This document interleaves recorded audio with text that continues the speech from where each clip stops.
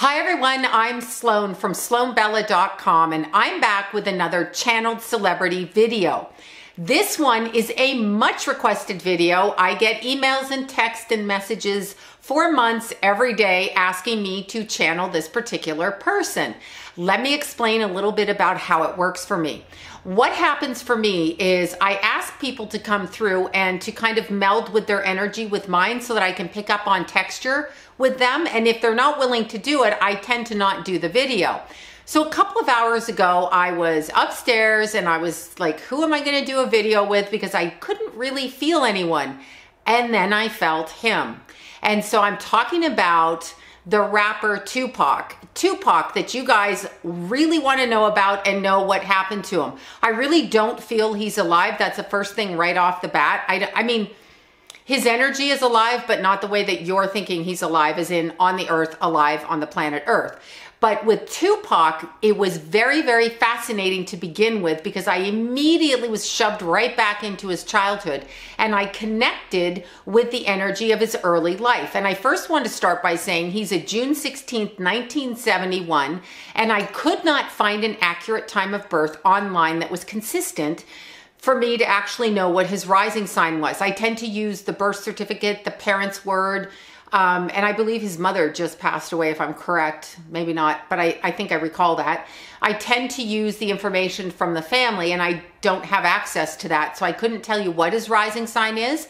But what I can tell you is that he's either a late degrees Pisces moon or early degrees Aries. When I look at him, I get Aries because he's in your face with his words. So he's causing the conflict with what he says and sings and raps. So that to me is very much emotionally connected to the verbiage that he speaks. And that causes kind of a warring effect, which is the moon in Aries. It's a strong moon. Now, when I look at him, I could not determine his rising sign. It was driving me crazy. It drives me crazy. As an astrologer, I want to know the person's rising sign. But when I looked at him and felt his life and felt what he went through, I really feel he was last degrees of Libra rising going and progressed into Scorpio rising because I just feel like he needed to put things back into balance in his life meaning with the work that he did and with everything around him. And so that kind of energy is very much a Libra rising, and he would have progressed into Scorpio at the time that he passed. But I go right back to the early childhood childhood with him, and it's really funny because he's like, "You think I'm a badass motherfucker, okay?" That's what he says. Like, "You think that?" But really, he was truly a Gemini through and through. He was living duality, two different lives. He didn't really come from exactly where it was portrayed that he came from. He was educated, he was interested in literature, he wasn't a ghetto banger, okay? So this wasn't what he was. And he was born into a family, and I believe we all know this, that was incredibly political. In other words, they were working on rising their people up and stopping society as a whole, or at least the government, from keeping the black community down. Now, I think we know he came from that. And he came from it really strong. He had relatives that were Black Panthers. He had relatives that were fighting up against the government. He had relatives that were jailed all over the place. His mother, uh, birth father, I believe, uncles, etc. All of this. However, go beyond that. And he was really socially and politically conscious as a child and also ahead of his time. So as a little kid, he was quite smart, but he couldn't always let everybody know how smart he was because that would ruin what he was trying to do. And he was very, very sensitive. Okay, this is a sensitive young man, and I'm talking under the age of 10. Extremely sensitive. His mother was kind of harsh for him. So his mother was a harsh person in his eyes. In other words, he was he was more um, sensitive to his environment, sensitive to what was around him, empathic. He would have been the empath in the family, and his mother was the aggressive, kind of like in your face mother type. And that would actually conclude that he did have the early degrees of an Aries moon because otherwise he would have had a Pisces moon and that would have been his mother. But I really feel like he had an Aries moon. So that should get me closer to his time of birth, but I don't have it exact. Now, when Tupac was younger, he knew that his life was destined. It was told to him. He's basically telling me that he was born into this and he knew where he was going. So it was no accident that he ended up being a big commercial success in the rap music industry. This was planned. This was set out. This is what he was to do. He was structured. He was saying, I was born to do this. Now, what I noticed and what I felt, and what I felt right off the bat, is that his life was extremely karmic. Obviously, all of our lives are karmic, but his life was really, really karmic in that he had specific relationships that he had to engage in and fulfill in order to fulfill his life karma. This is part of what he's leading up to as he's talking about what happened to him. Now, as he got into rap, he had a different vision for rap than actually what happened, and that was part of the problem. When he signed up with, um, I believe it was Death Row Records and it was Suge Knight, and that's really funny or ironic or perhaps not, where Suge Knight is right now. So that man with all the power and all the strength and all the bitch ass aggressiveness, because he's kind of showing me that Suge Knight was a totally different type of human being than he was. It's not a judgment, it's what I'm being told. It's just showing me different levels of humanity. And this person was basically focused in one direction. And I think we know the direction. It was money. He was, Suge Knight was basically, obviously, a talent former. He was a money man, so he was a we'll call him a pimp for lack of a better word, but he was a music pimp for them, okay? So he came out, he gave them opportunity, he gave them payment, but beyond that, his extension and the way that he worked his business was very cut and dry. It's like, you're gonna do this, I'm gonna do this. It's gonna go like this, it's gonna go like that. So Suge Knight was very cut and dry. The way that he ran his business was very much, we're gonna do it this way, it's my way the way that you want to do things doesn't really matter because I'm the businessman, I know what I'm doing. So he was very much that kind of person. Now, Tupac had more of a political conscience and more of a side of wanting to walk the line, but also wanting to create his own vision of the legacy he wanted to leave behind. He's talking about the legacy. His mother had a legacy um, I feel like there were so many things around him, but he wanted to do that. That was not going to be agreeable with the record label that he was. And it's interesting because he's showing me, he says, I thought that I could handle everything. So he's kind of letting me know that he was slightly arrogant in his pursuit of who he thought he could talk to, what he thought he could do. So he kept pushing the envelope and he was just like basically like this. I'm fuck you, I'm going to do what I want to do kind of thing in the music industry and with the people around him.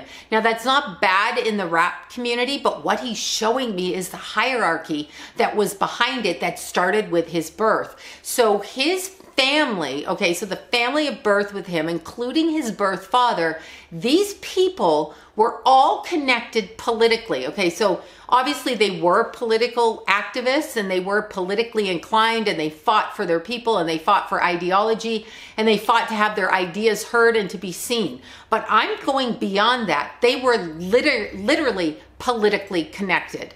They were literally politically connected. So they were connected to different politicians and there was an agenda behind what each of them did.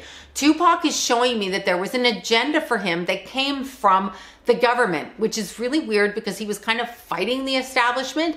But as he's fighting the establishment, his soul is showing me that he was also connected to the establishment and there was an expectation about how he was to respond, what he was supposed to do, and how he was supposed to do things. So this, this, persona that was Tupac also had karmic responsibility. And that he doesn't care for very much. That's like, I don't even want to deal with that. Um, I feel like as he got going, he's kind of showing me that as he got going with his music, which he himself knew would happen but didn't quite believe it would happen. And sometime after he moved to California is when he really got his ass kicked, is what he's telling me. Um, he started to become the character that he was playing all the way along. So there was something that he learned here that was really part of the experience of who he was. And he learned it once he moved to California. He saw all kinds of things. And he's basically saying he tried to stay sober and drug free for real. That was something he really tried to do. There was a not wanting to lose control of the way one thinks, the way one is. So he really tried to stay pretty much sober. A lot of what you see with him and a lot of the persona that you see was really an act. In other words, it was a presentation because he felt like that's what he was supposed to be doing. So Tupac presented himself one way because he felt like as he climbed the ladder, he could basically climb the ladder, get notoriety, and then start creating things the way that he wanted for the young people in his community, the black community, and do it in a little bit of a different way. And again, his music wasn't quite as radical as it's portrayed. And there's a huge, huge, huge recognition of how much you guys love him. Um, there is uh, there's hands in prayer with him. There's gratitude with him. There's all kinds of things on the other side. And there is regret about not seeing things clearly in his own life. He didn't see who he let into his life. Okay, he's talking about people very close to him. He didn't see who his friends actually were and who they weren't. Now, some of the people around him were not his friends and he kind of knew that. So these are, I am assuming, contemporary counterparts.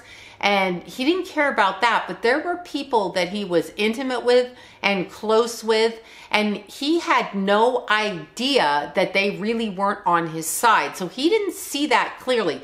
The boy is a psychic boy, okay? So very, very psychic, very empathic, but as an empathic human, he basically drew to him opportunists or people with agendas. Now, what he is talking about, and I can't tell if it's because he's a Gemini or he's literally talking about this, but he's talking about his two sides, okay? So he's talking about the one side that he knew who he was and the other side who he didn't know who he was. So there's two sides to his personality that he's describing, and one of them is orchestrated by the power around him, and one of them is authentic to who he is. And he's saying that the audience who can feel him know who he is authentically, but that's not always what was expressed out there. So, what was expressed, um, kind of showing me when he went to court and he had to go in front of the judge, and I can't even remember what that was for. I'm sure it was for some sort of fight or something, but he's showing me being in court and he's standing there and I'm seeing him with his hands on the, the wherever the people stand before they go before the judge. And I can feel the disconnection from where he is because he doesn't understand how he got there. So I feel this was some kind of a setup because he's just like, but he's not going to show it, but that's how he feels. So I feel like that's one of the first betrayals. And it's a betrayal that's pushing him down a road. It's also being orchestrated to create him, his persona. He was the people around him because of his popularity or because of the way society responded to him were grooming him to be what they wanted him to be. So with his amazing charismatic personality came this responsibility to not be controlled by people around him who wanted to control how that charismatic rapper was. So over here are people, and there's many of them over here, trying to control how he responded to things. And I'm beginning to think more and more he's in Aries moon because he's just like, I'm not having any part of that. So every which way he was speaking out of turn. That's a Gemini too, speaking out of turn, speaking around the corner, speaking with anger, saying, you know, caustic things, that kind of thing. So, and he is telling me that he was arrogant, and he is also saying that he has regret for his passing. There's regret that he died on his own part. He's not off on an island. I know there are people that say that, but from what I'm picking up, he's actually on the other side. Now, I can understand why you feel he might be still alive because there is that feeling of him being alive because the energy is very buoyant. It's very, very buoyant. It's around. He's around. He's not in shame. He's not in sadness, but he is being quite honest, brutally honest, in fact, because he has regret about what he did and how he passed. There's a lot of regret. His mother was a broken woman. His mother literally was broken, okay? Broken at the end of her life. Broken down, broken. Malfunctioning is basically what he says broken because everything that she believed, he's kind of going into the philosophy of the family, but everything that she believed and everything that she fought for and everything that she thought was relevant wasn't. It is, but it wasn't because it left her with nothing. Okay. She didn't have her child, she didn't have her reputation. Um, she was very much maligned at the end of her life, and he's basically showing me that she was manipulated out of so many things but didn't really care. So I, I'm assuming she's passed on. I'm not seeing her here, but I am thinking she's passed on by what he's saying. Completely maligned at the end of her life. Um, what she believed in and what she was fighting for. And here's the key word she was promised. Now, there's governmental promise in the background with his mother. So, his mother, before she had him, okay, before she gave birth, there is promise. She's high up with the politicians. Sounds very strange because I don't know why it sounds strange. It just sounds strange. So she is in the hierarchy. She's talking to government people. There's one man in particular I see that she speaks to that I'm going to call a politician that has control over the way that policy is run and things are done. So she is birthing a child after these deals have been made, after these things have been done. So she is being told, you can have this, we will keep you supported, you can you can speak this way. Your child, it's almost as if the child was promised to carry on that pursuit and it was told to her that this is what you need to do. It's almost like um, it's almost like they were setting up a game using his mother against other people and him, and his childhood, and his words. So he was basically siphoned into this life, is what I'm seeing. He was pushed into this life, and it was through the family, and it was through the family hierarchy. So he was born into this. This is not um, somebody who came to it because, oh my God, they're so talented. Now, he was really ahead of his time and extremely talented and way too young to have passed away. However, his family was set to have him do this. So he was given opportunity along the way, guided and pushed, although to himself, he was unaware of this, but aware of it. So he was not consciously aware of it, but unconsciously underneath, he felt that he had a karma he had to pursue. That's why he pursued it, because I need to pursue this.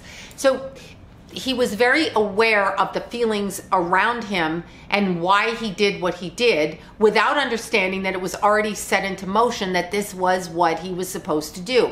Very interesting. It's like actually kind of fascinating that he's talking about. He's showing me in steps of how it's going.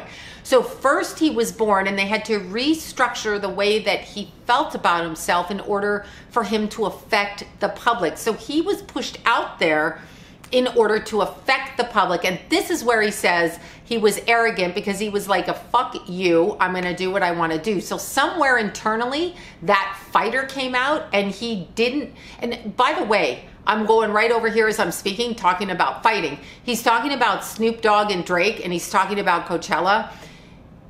Okay, so these people are another fuck you. I keep wanting to say fuck you. I like to say it anyway, but I feel like I'm saying it for him. These two, he says, are just laughable. Like he is laughing at them, and it's really interesting because he manages to insert himself everywhere, even though they are agendizing him for their own purposes. It's not going to work because his soul spirit is too strong. And I have a message for them, which sounds really odd. Uh, but he's not trapped. So I don't know what they did after he passed that would make them think that he was trapped, but he's not trapped and his energy's out there and you can't stop him. He's not trapped. I don't know what that means um, because he died. So obviously he wasn't trapped, right? He the body was dead and it was buried or cremated, whatever, and he went on. But he's saying for those two, I'm not trapped. So his energy is stronger and there's always a reckoning is how he's making me feel. Now, the other part of this which I'm seeing is his karma and he speaks of it. Okay, so let's jump ahead to the night that he died. Okay, wait, wait, wait. Um, okay, as I look around with him, as I look at the contracts and the deals that he's making, he is another musician, and I'm repetitive when I say this to the point of ad nauseum, but he's another musician that had another idea for how he wanted to do his music. He had a goal. So there's another goal, and he wasn't going to be allowed to do it. There was no way, but that wasn't actually what the problem was. And there are many people that wanted him dead, but the people that actually killed him are going to surprise you. That's what I'm seeing. So the person that he feels is responsible for his passing is nobody that's ever been mentioned before according to him, or at least he's making me feel that way. There were many people that wanted him dead, okay? So a lot of people, people he worked with, West Coast versus East Coast versus record labels versus people he knew, people within his own label, other rappers, probably his neighbors, just about everybody. Somebody want to take a pop shot at him. However, what gets most men into trouble? This is kind of what he's saying to me. He's saying, what gets most people into trouble? Now, that entire night when they're talking about him going out the door, and I believe that he was in Vegas, and I believe that he was going to see Mike Tyson fight or did see Mike Tyson fight. What would make you leave your hotel room without your bulletproof vest on? Because he had one and had been wearing it because there were death threats. What would make you leave what one thing really screws men up across the board more than anything else on the planet Earth. More than drugs, more than alcohol, more than money. What? Women. So what would make you leave your hotel room without your bulletproof vest, especially when you've been getting death threats, other rappers are threatening to, you know, put a cap in your head. What would stop you? Somebody who says, oh no, I mentioned he should wear this vest. He's showing me actually there's two things going on simultaneously. There was a hit ordered on him and it was repeated to him. The hit was from a politician, a politician connected to his mother's side of the family. A politician, and I'm assuming that's back east, a politician ordered the hit on him. Now that sounds really weird because what was he really doing that anybody in the government would give a shit about? It wasn't that. It was the way that he was leading people beyond what they had expected and without following or leading them within the lines. He was coloring outside of the lines. This was a politically ordered hit with gangsters that were taking government money in order to align themselves and their people, the black community, in a certain way in order to have things orchestrated the way that the government wanted. Sounds really weird, but that's what I'm getting. Politically, so this was a political hit on a black rapper for a reason in order to maneuver people in a direction to respond. And I'm seeing that. So what do you do if you want to put a hit on someone besides just mowing them down like in a third world country where they just blow people up? You kind of put a love interest in front of them, and perhaps the love interest's father is connected to the police department, who's connected to the rappers, and in the music industry, connected to the political part. And you kind of all are one big happy family. And the girl, i.e., the thing that can take a man down 10 times more than not, okay, than drugs and alcohol and anything, is a female, that female can tell her father what's going on and he can report back. So we know the whereabouts of this man and it's not like they wouldn't have somebody watching him anyway because i mean husband and wives have their husband their mates followed all the time. But in this particular instance it goes all the way from his mother's side to the political deal that she struck before he was born and the politician that ordered that hit because of the social consciousness and connection to Tupac. So it's even, it's not gang rivalry the way that it's presented. It is, and it is also.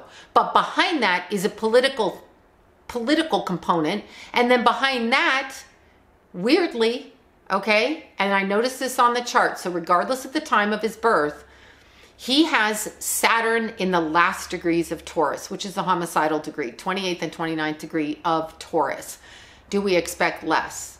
And we have it running in tandem with his Venus.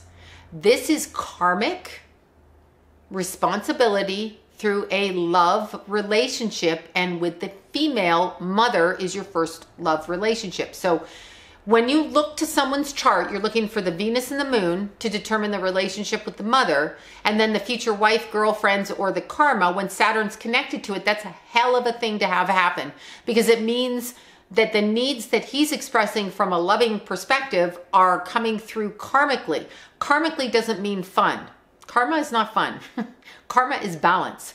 So he was being balanced in order to politically control the black community and the white community through the actions of his murder. And that's actually what happened. That's what I'm seeing happen. Now, I'm going to say something outlandish here. I know they said a car drove up, shot through the windows, shot him. I think Biggie Smalls was driving and then he got shot later on, like five months, six months. Okay, so this car is driving down the street in Vegas and just, we know they do roll up on them and they just pull their guns out and shoot. I am actually getting there was somebody in the car that pulled the trigger, not somebody outside the car. I am also getting that he was not dead after the shooting. Well, I guess he wasn't. He went to the hospital, but he should have walked out of the hospital. There was a female romantic interest that made sure that this wasn't going to happen. Now, is it the one that he was dating at the time? Or is it another one that went to visit him? Or is it an ex one? I don't know that. I'm not hearing that because I'm kind of feeling the energy fade away. But I'm definitely seeing that the shooting happened in the car from behind him. And I'm feeling it was politically connected. It, there was a connection to his girlfriend of the time, her father, the police department, and a politician back east that was connected to his mother before he was born. It's connected all the way back. It's like little dominoes all the way along. This was orchestrated and it was orchestrated in order to make people and corral them and make them think a certain way. Exactly the opposite of what Tupac was. Exactly the opposite, okay? This man was not for that bullshit of anybody telling anyone what to do. He was actually freedom oriented, um, way, way ahead of his time. I I can feel him. Okay, this will sound really weird, but he was kind of a song and dance man, not necessarily just a rapper. So he was multifaceted, multi-talented, and he still speaks. There's still a part of him that speaks in society, which I find really interesting. He comes to people all the time. His energy is very buoyant. It bounced back. And again, I'm going back to Snoop Dogg and I'm going to Drake and I'm going to that hologramic thing at Coachella and I'm going right there and I'm saying bullshit. Bullshit, y'all. Bullshit. I call bullshit on it. That's what he's saying. Just whatever, whatever, okay? You can't control my energy. There was a reason they did it, and it was an energy play, and he's not trapped. That's his message. I really don't know what that means. I'm assuming they were trying to bind his energy by doing that and harness what he could do. What he is showing me politically at the moment is that there's many things changing, and he's on the side of believing that there's a spiritual war going on right now, and he's on the side of flipping the energy. So he's trying to help people elevate the energy because he was literally born into a situation that he wasn't aware of, but yet he was forced to, but he had inklings about it. So he's saying subconsciously his whole life was forced in a certain direction, which wasn't his authentic soul path. Tupac is basically letting me know that his entire life was orchestrated and he felt it on a subconscious level, but it wasn't really his authentic soul path. He is showing me that from the other side, he's free to express himself and he can see clearly and he can see what he was involved in. And when he goes back over his life, um, he is referencing a little girl. I don't know if he had any children. I don't think I'm familiar with that. I don't think I've heard it but he is showing me a little girl back at the time that he died. So I tend to believe somebody had his child. I don't know why they wouldn't have come public with it, but he is showing me this little girl that is his child, is what he's saying. Like, this is how it feels to me. Feels very loving and very paternal towards this child. And this little child is in his thoughts all the time. Obviously, she's grown because he hasn't been around for however many years 20 plus years. But I am, I think it's 20, 23 years. I think it's going to be 23 years now. But I am feeling this little female that's around him. And I'm also feeling that we're going to hear more and more about him coming up. So when I'm looking at the energy of him, he's getting ready to step forward again. He's getting ready to come forward. He's getting ready to speak. I don't know what's being planned, but they can't shut him up now. So he's going to start coming through a lot of other people, and people are going to start speaking on his behalf. And that's what I feel. This is my first video on Tupac. And once again, my name is Sloan from SloanBella.com.